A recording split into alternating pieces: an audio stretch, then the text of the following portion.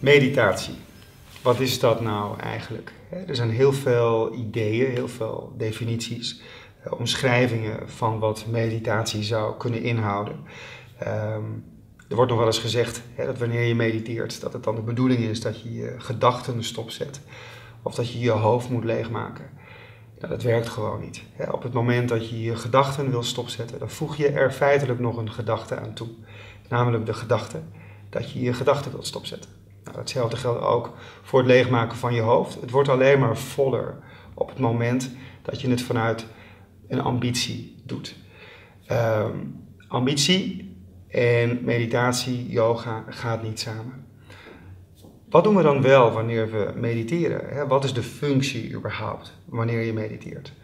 Nou, we zijn op een of andere manier allemaal heel erg geneigd, geconditioneerd zou je ook kunnen zeggen, om voortdurend te reageren wanneer een bepaald zintuig wordt geprikkeld.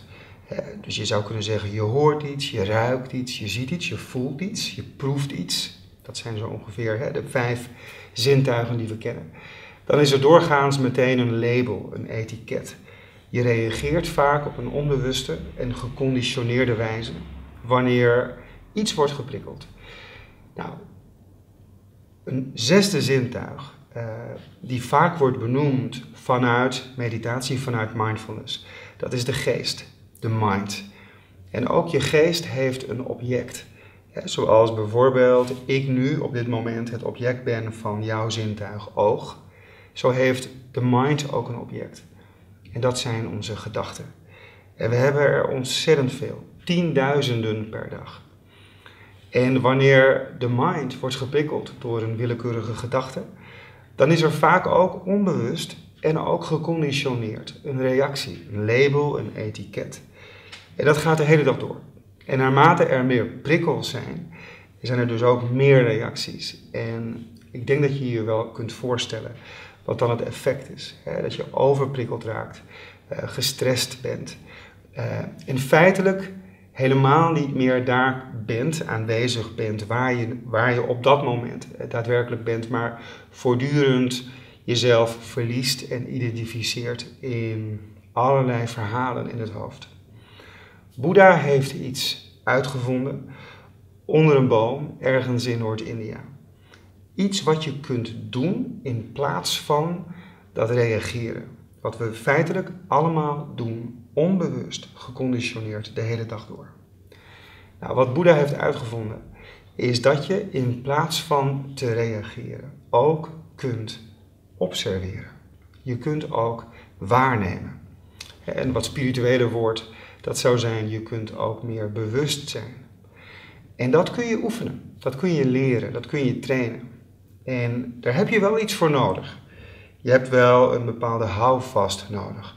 Je hebt een soort gereedschap nodig om te kunnen oefenen in waarnemen. Nou, een heel veel voorkomend gereedschap, we gaan het zo meteen ook oefenen, dat is je ademhaling. Dus de adem, dat mee te nemen als een gereedschap, is dus niet het doel van de meditatie, maar het is de tool. Het is een hulpmiddel. En feitelijk is het gewoon heel simpel. Wanneer je de adem volgt, dat doe je dan vervolgens met je aandacht, dan neemt de adem je eigenlijk zonder enige uitzondering mee hier naartoe, naar dit moment. Je zou kunnen zeggen naar de kracht van dit moment, de kracht van het nu, zoals Eckhart Tolle heel mooi zegt. En dit moment heeft een enorme waarde, omdat je alleen maar vanuit het nu kunt waarnemen. En daarom is de adem bijvoorbeeld een prachtig instrument, een hele mooie techniek. Dus we gaan zo meteen de adem volgen.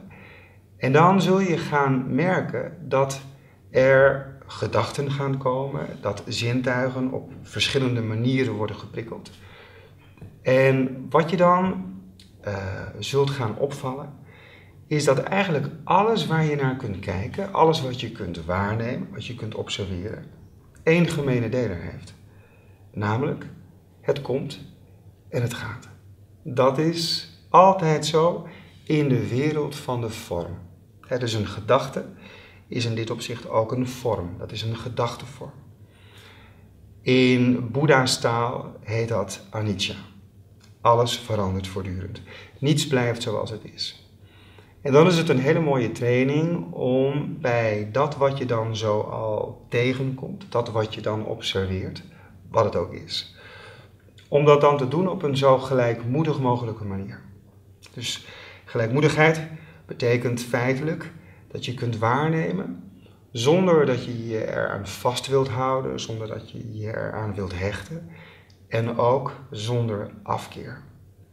Je kijkt ernaar, je observeert, wetende dat het voortdurend komt en gaat. Kijk, en wat het dan vervolgens oplevert, wanneer je dan op deze manier mediteert, dat is nog niet zo heel eenvoudig uit te leggen. Eigenlijk is het veel fascinerender hoe dat voor jou zelf voelt, hoe je dat ervaart. In zijn algemeenheid zou je kunnen zeggen, wanneer je afstand neemt, ontstaat er ruimte, ontstaat verstilling. Er is veel meer contact uh, met jezelf, met je gevoel, met je intuïtie. om vanuit je hart te leven bijvoorbeeld. uh, vaak uh, is de ervaring van veel mensen, ook van mijzelf, dat wanneer ik gedurende een bepaalde periode afstand neem, dat ik eigenlijk veel efficiënter ben daarna, dat ik veel creatiever ben, veel meer in contact ben met mezelf. Nou, dit zijn zo wat verschillende mogelijkheden, maar ik zou zeggen, probeer het gewoon zelf te ervaren. We gaan de adem dus gebruiken als een houvast. En het mooie van de adem is ook hè, dat hij er altijd is. Waar je ook bent, bijvoorbeeld nu terwijl je naar deze video kijkt, je adem is er gewoon altijd. En je adem is vormloos. Je kunt je niet aan je adem hechten. Want op het moment dat je hem gevonden hebt, houdt hij eigenlijk weer op. Wat het tot een heel doeltreffend instrument maakt. Het is eigenlijk heel erg onbelangrijk hoe je zit. Ik zit nu bijvoorbeeld op een kussen, een meditatiekussen, op een yogamat in een yogastudio. Maar het kan zijn dat je op de bank zit thuis of misschien wel in je bed ligt. Uh, ik zou misschien wel aanraden om wat actiever te zitten voor het geval je in slaap valt. Of op je bureaustoel, op je werk, waar dan ook.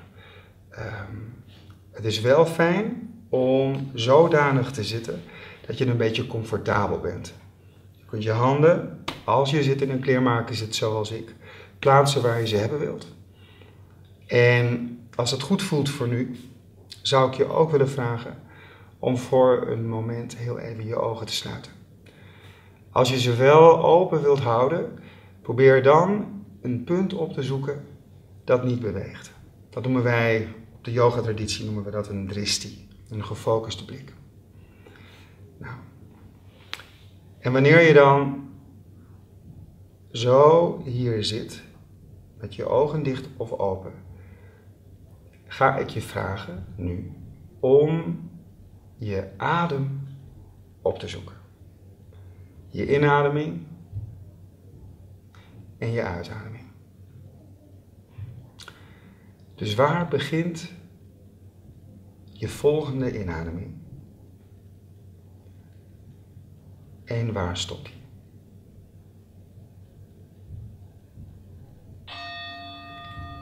En waar begint je volgende uitademing?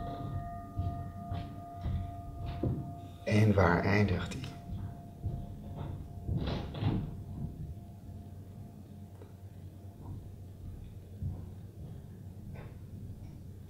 Dus de adem volg je niet met je gedachten, maar je volgt hem met je aandacht. En terwijl je dit oefent, zou je kunnen ervaren dat de adem je meeneemt hier naartoe, naar dit moment. Hoe laat het ook is, waar je ook bent, in dit moment. Van waaruit je kunt waarnemen dat wat komt en gaat.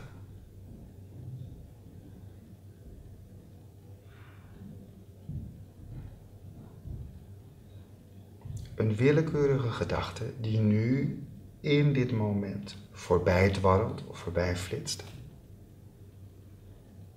Kijk eens of het je lukt om opmerkzaam te zijn. Om het simpelweg waar te nemen.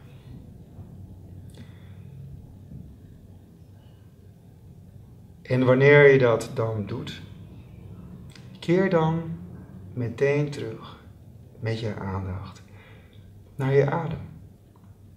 Je hoeft niets los te laten, niets te negeren, nergens tegen te vechten. Met enige mate van discipline steeds weer terug te gaan naar de adem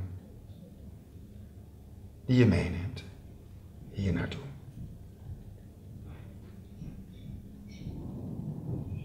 We doen hier een oefening. En het resultaat is eigenlijk het minst belangrijke. Voor heel even in stilte deze oefening te continueren.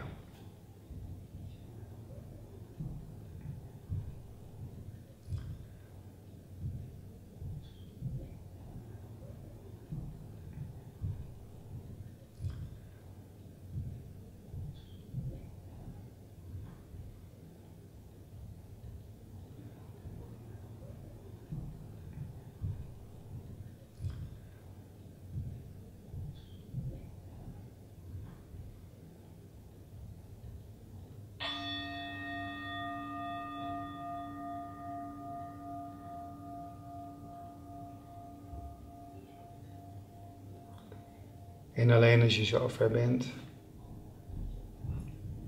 zou je je ogen weer rustig kunnen openen als je ze hebt dichtgedaan.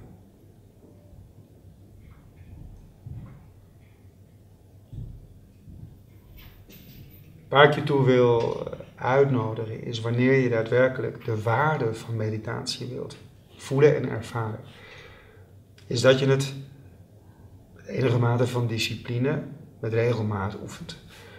Wat heel goed kan werken is dat je dat doet op een bepaald moment van de dag. Als je wakker wordt of wanneer je naar bed gaat. Of ja, op een moment dat het jou uitkomt, dat je de ruimte ook hebt. En dat je dan zult gaan ervaren wat het je oplevert. Het is heel persoonlijk. Uh, maar het kan niet anders dan dat je, wanneer je het met regelmaat oefent, dat je de waarde, de kracht van meditatie zult gaan ervaren.